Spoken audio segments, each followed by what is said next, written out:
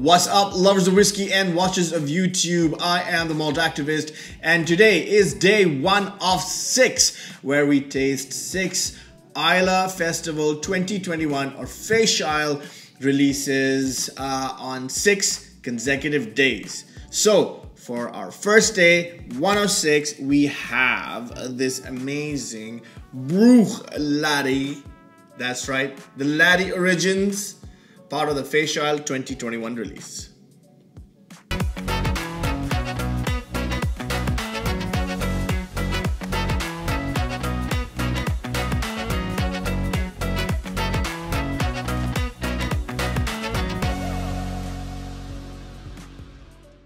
Yes, hello! And aren't you excited for this Bruch Laddie? The Laddie Origins. So am I. Super excited. Uh, but before we start, let me tell you and remind you of our subscriber giveaway. That's right, four bottles of the Arran Quarter Cask. The second we hit 2,000 subscribers, four, that's right, one, two, three, four. Four lucky winners will get a bottle of the Arran Quarter Cask delivered to their doorstep as a thank you from me. Not only that, we get rid of the stash. The stash is gone. The stash is gone at 2,000 subscribers. I'm getting kind of fed up of the stash. So let's hurry this up, please. Thank you very much. And yes, if you're wondering what this new look is about, let me tell you something. I love golf. I love Tiger Woods. Does this hat belong to me? No. Does it belong to my 12 year old daughter who wears it to hip hop class? Yes. Am I having an exceptionally bad hair day? Also, yes. So this is it. We're sporting the new look today. That's right. Sophistication. That's what I'm talking about. That's what I'm getting at. Okay, now we have everything out of the way. Let's focus on the whiskey on hand. We have the lovely Bruichladdich, Laddie Origins, uh, released for the Fèis Ìle 2021, which is the Islay Festival, which for those of you who don't know, is the annual whiskey festival that takes place on uh, the island of Islay, which is just west of Scotland. I go there every year for the whiskey festival, and one of my favorite days, absolutely favorite open days, is the Bruch open day. And it is so much fun. There's so much dancing, there's so much drinking, there's so much eating. It is just oh, it is just one of the days you have to be. If you want to experience a good whiskey festival, then Bruichladdich is the one that really puts on a great show. So that's my that's my uh, little word of advice to you if you're ever visiting Islay for the whiskey festival. Number two, they also produce good whiskeys from time to time. You know what I'm saying? After Mr. Jim McEwan uh, left, there I thought there would be like a huge hole and massive shoes to fill, which of course there are. Uh, but I think the new master distiller, Adam Hannett, has done a very, very decent job. Uh, and I think uh, the testament to that is the Port Charlotte PC10, which came out a year or a couple of years ago, which is an absolute cracker of a dram. I reviewed it. It's kind of, I think it was kind of like my whiskey of the year last year, if I'm not mistaken, or the year before, whatever. So this year the pressure must have been on. What do you what do you produce uh, for uh, 2021? Uh, and so as it happens, this is a bit of a commemorative bottle.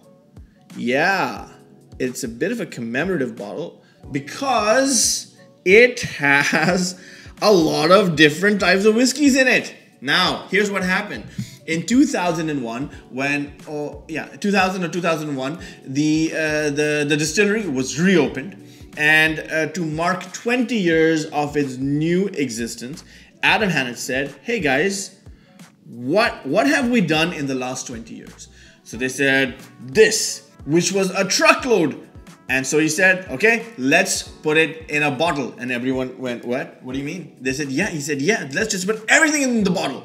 And they're like, dude, we have no idea what you're talking about. So, this whiskey, if you don't know, or inside this bottle, are 13 different types of whiskeys, each one commemorating some sort of milestone achieved by Laddie. There's 12 different vintages in here. We have no idea what the vintages are because SWA. And finally, there's nine different types of casks that are in play inside this bottle. Now, if you like, I could read out in great detail every single type of whiskey that has gone into this bottle to make it uh, what it is. But I promise you, you are going to get super, super bored. So what I'm going to do is I'm going to just place them right here. There you go. Can you read that? I don't even know if you can read that. I mean, there's a lot of stuff in there. There's 13 different types of whiskeys in there. There's a few that are interesting. There's a few that are interesting. Let me read them out. Hold on a second. Hold on a second. Uh, we have we have some triple distilled um, from a first fill bourbon barrel that's made from uh, Scottish barley. We have um, what else? We have uh, Yatesbury Farm biodynamically grown barley from a first fill bourbon barrel down. Then we have um, then we have um, something from Shan. Oh, we have Scottish organic barley, uh, finished in a second fill Chenin Blanc hogshead, which is okay. And uh, and I'll, I'll read out one more. Um, da, da, da, Ooh, and Black Isle grown regional trials barley from a first fill bourbon barrel. So this is all kind of, I mean, these are all these different barleys that Bruichladdich has experimented with. Uh, um, it's a bit Greek and Latin to me, to be honest. Um, I don't know what each uh, single barley does. Uh, uh, the guys over the distillery probably, uh, obviously not probably, uh, they know uh, better than I do. All I know is that this particular bottle has 13 different uh, whiskeys in it. It has 12 different vintages and I believe nine different cask types. The majority of the casks, by the way, are first fill bourbon barrels, and I will get to and, and I will circle around to that uh, in a bit. So, what's left to do? Chin chin. There you go. Natural color, non-chill filtered, the way whiskey should be bottled. Should it have had an aged? Well, this one, you know what? I'm going to I'm going to let this one slide because of everything that's going into this. It would be impossible to put a vintage on this um, or an age on this. So this is probably one of the few exceptions I can make for a NAS whiskey uh, because of its makeup, you know, ultimately. So, but the real proof, as they say, is in the whiskey.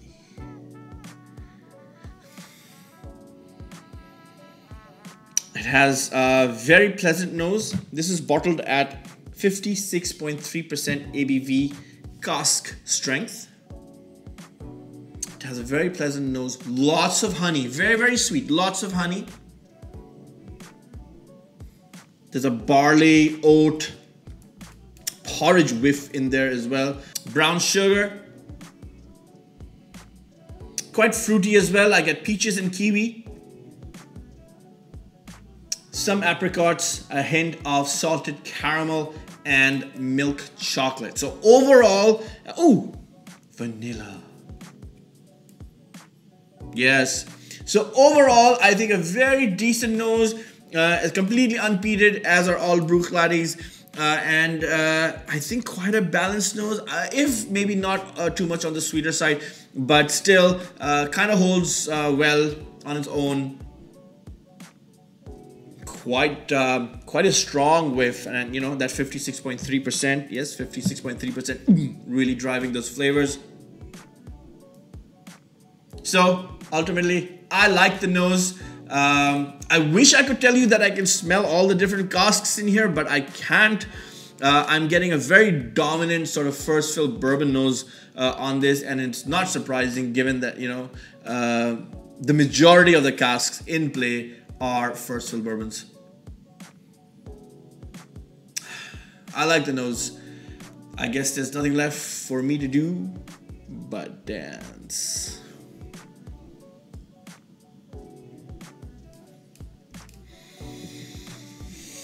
Hmm.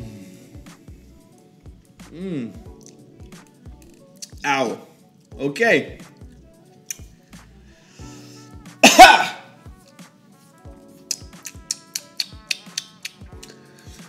A touch of bitterness in there somewhere, which I'm not a huge fan of. It's a good mouthfeel though. Let me see. Uh, I have uh, gentle spices. Uh, I have black pepper and cloves. Uh, the honey is back. There's some beeswax in here as well. Gets fruity. Some pineapple. Hint of licorice and a slight medicinal touch as well. However, I don't like it as much as the as the nose. I really don't like this too much on my palate. I feel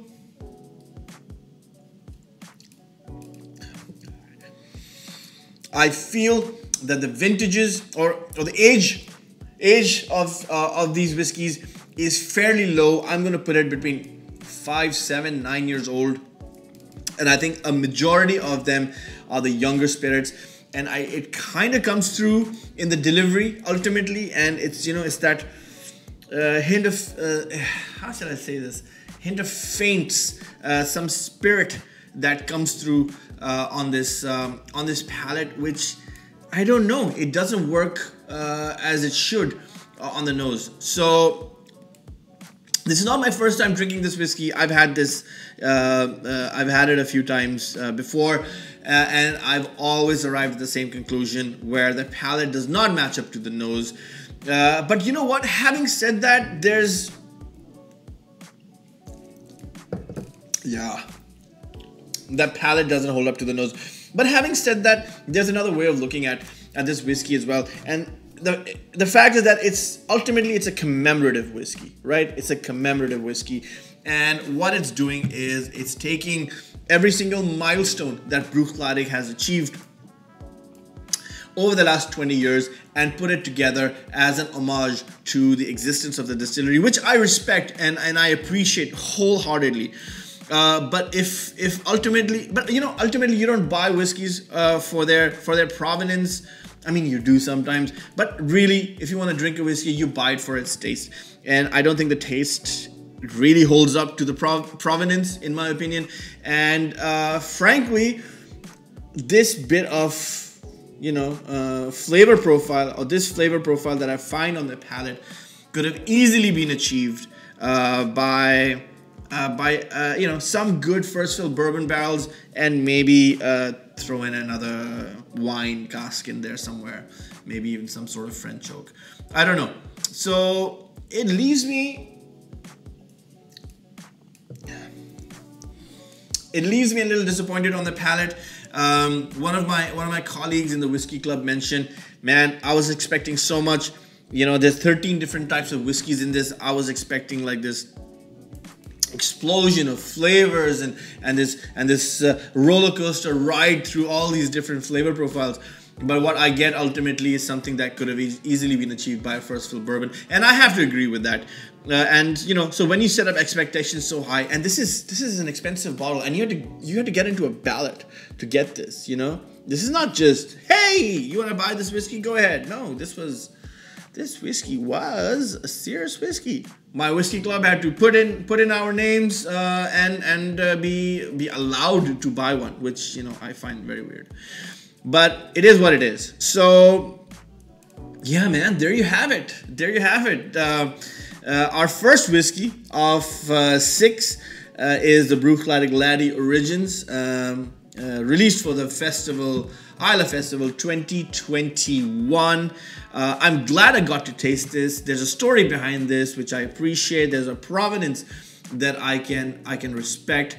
Uh, but ultimately, you know, the proof is in the pudding, and the pudding doesn't hold up.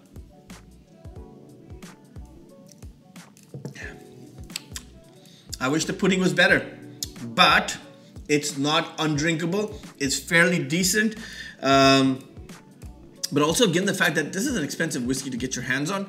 Uh, so you know, buyer beware. That's all I can say.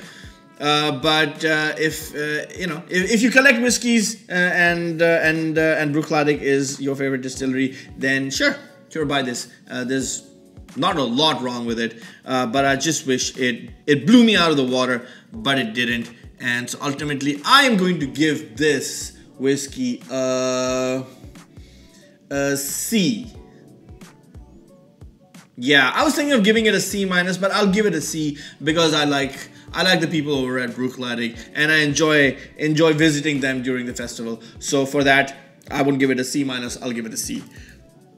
Yeah, yeah, I think that's a that's a fair grade. So good good nose, eh um, but you know, ah, I wish it was better, but it's not. But that's okay. That's okay. We've crossed the first milestone, and that's our first whiskey out of six in our series of festival tastings. So thank you. Thank you for being here with me. Uh, I'm the Malt Activist. Until next time, peace.